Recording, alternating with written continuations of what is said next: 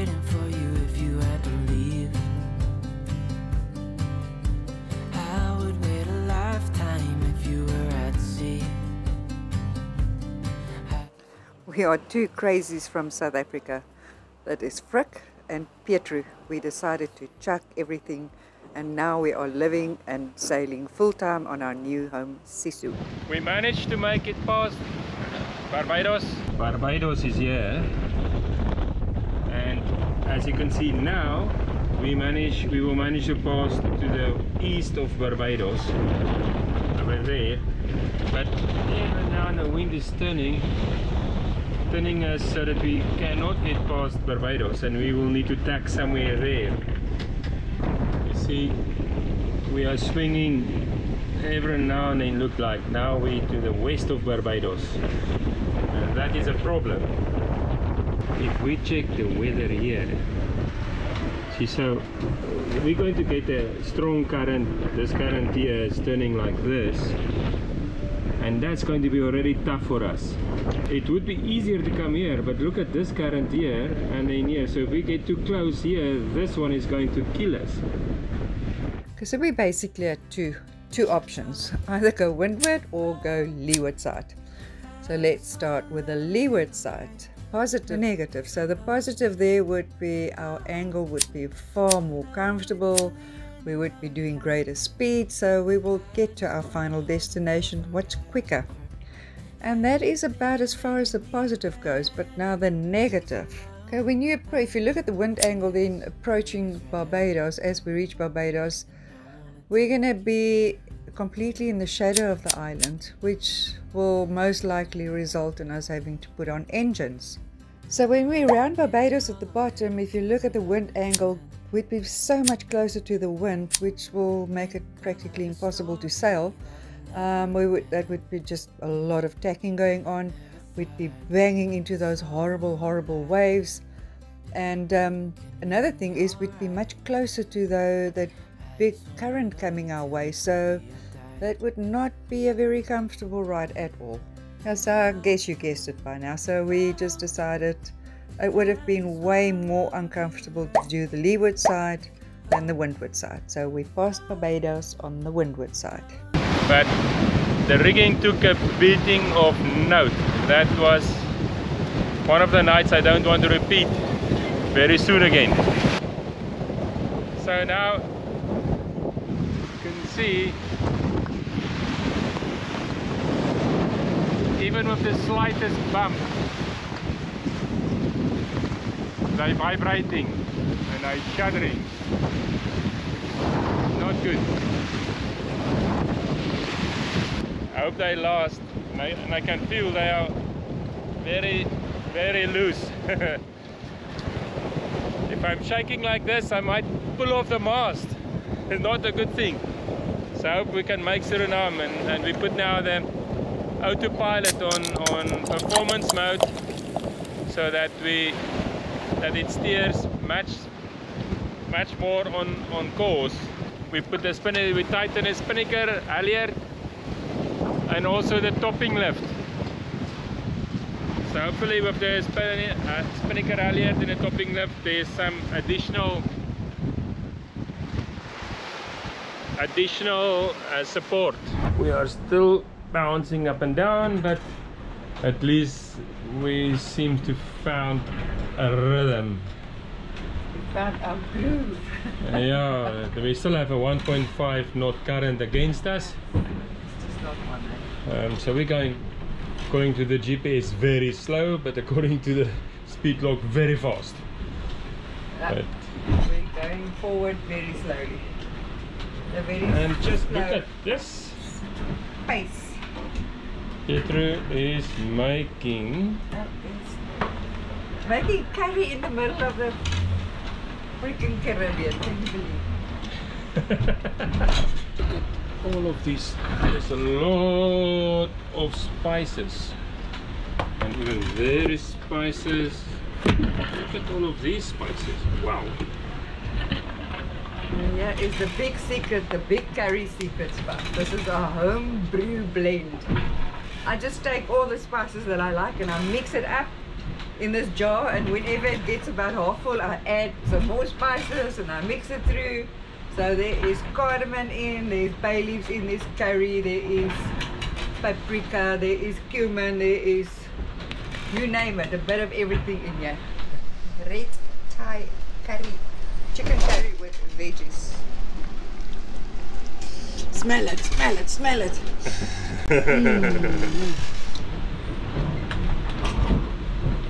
velvet mesh And that's all handmade. Real potatoes, Yeah. not powder potatoes. Yes, I hate that. It is just not nice. Yo, yo, yo.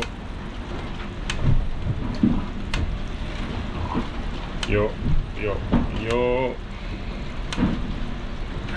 Sorry, Frick, but there's some veggies, Green stuff. green stuff. Oh, it's now yellow. Yeah. It happened again. Um, one advantage of sitting here and at the helm is that we've got all the alarms also coming here to the to the helm station. I just saw this alarm going off coming on. So and that means the bilge pump is working. That means there's water in the bilge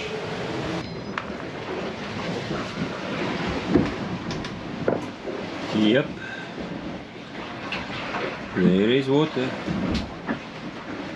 Now the question is where does it come from okay this is the oh.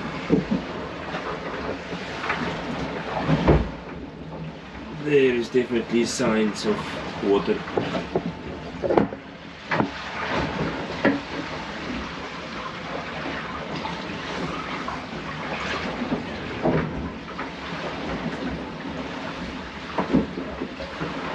Uh, that is the alarm.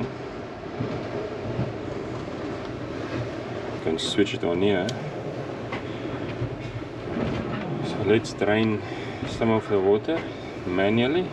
That light is back on again. and it just means that even after I emptied it manually, the bilge, I used the manual pump to pump it out, the water out it's again at the level where the float switch is switching on.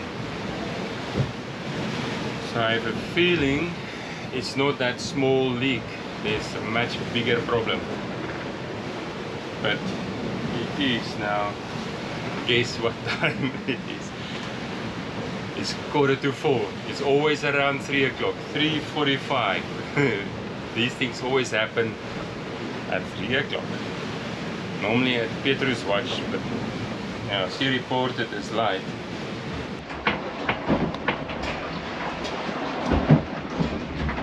Oh, oh. Sheesh. We have a bigger problem. The water is coming out of that hole, but like a lot.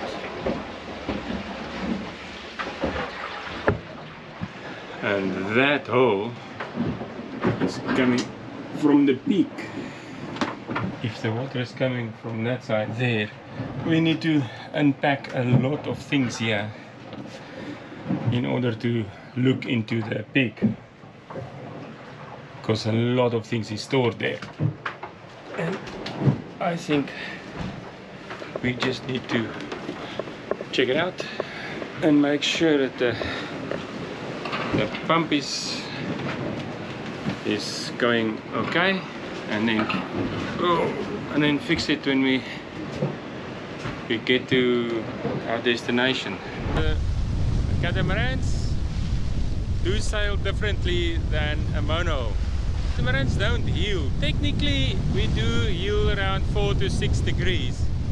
So it's not much but it does mean that this big sail is pretty much upright the whole time except for that 4 to 6 degrees which makes the very big difference in the wind. So all the wind that's coming in the sail will face the full wind. And that's why we reef earlier than monohulls. See that our Genoa is full out. So that Genoa is not reefed. But if you look forward you will see and I can feel it so that is, is, is a little bit different than watching on the video. But you can see that the nose is dipping quite deep look. And stays there for a while. And every time when it comes out it's very difficult to get the bow out. And that's because of that big Genoa. So that big Genoa every time when we uh, Sisu lifts the bow out it's actually catching a lot more wind and then either goes forward or keep the bows underwater. Sometimes we even reef a little bit earlier than normal just to make Sisu lighter so that the house is not pressed so deep in into the water. There's big swells coming this way, big swells coming this way and then there's all these little ones in between which is making a very difficult ride for a catamaran and we don't really pick up speed. If we do pick up speed above 6 knot and we can do that by just turning a little bit more but at this moment we want to get to our target there so I cannot I cannot fall off the wind too much. Otherwise we will need to tack at the end of this long passage. And in this sea I'm not really happy to tack. Look at this wave nice and big very big. But anyway so if I fall off the wind catamaran sail much faster not much much faster than monos but we do pick up a lot of speed because we don't heel so let's go and fill the Genoa and we see whether we are better off. We are already a couple of days at, on passage and this was not one of those passages that you can say you had a good sail. and it is pouring with rain. And all of a sudden, a true wind from 12 to 20, 22. But now Sisu is getting a wash and the sails are getting a wash. What a pleasure. So, last night this ceiling dropped off. Also that anchor remote over there got somehow entangled and started unwinding the chain or dropping the chain by itself. So lesson learned, always switch off the windlass at the windlass breaker. But also you see that dark shape there? That is the window from there. And this is the sea outside. Just going all directions. Let me show you guys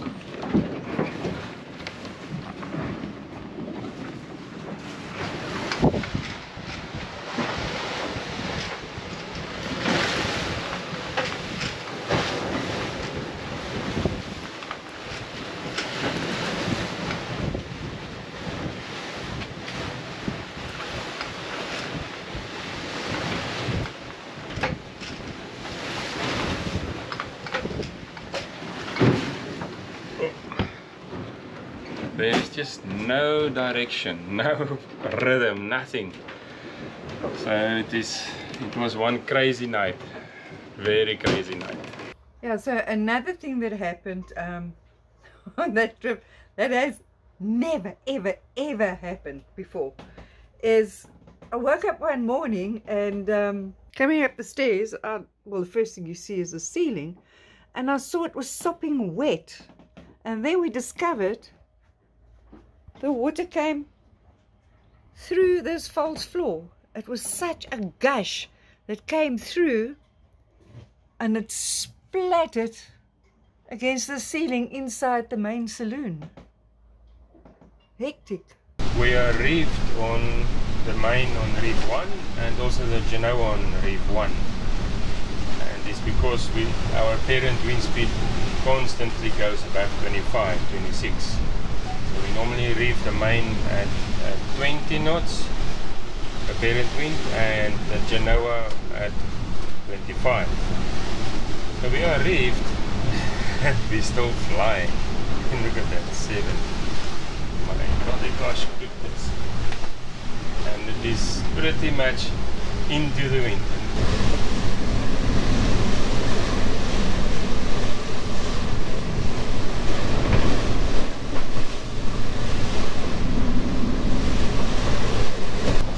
I think approaching the Suriname River now. We still have 146 miles to go, so we will have one more night like this. And it is really, it was a tiresome journey. This, um, it can, it can get over. I think we, it, it should now be done with. It's like bashing the whole time. State is not, not well.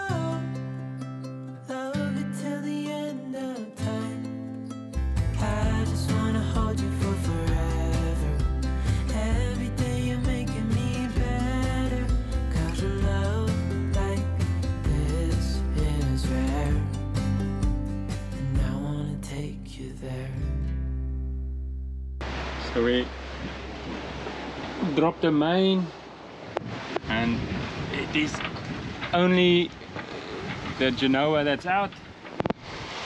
Because we need to make sure that we arrive there at the mouth of the river. You see we're going to get there too early. Because we cannot arrive there at night and also there's a lot of sandbanks and debris that's coming out of the river. And also the tide is only going to be ready for us. Low tide is 8 o'clock so we need to do something to get there just after 8 and to be ready to go into the river when the tide turns. It's already quarter to 7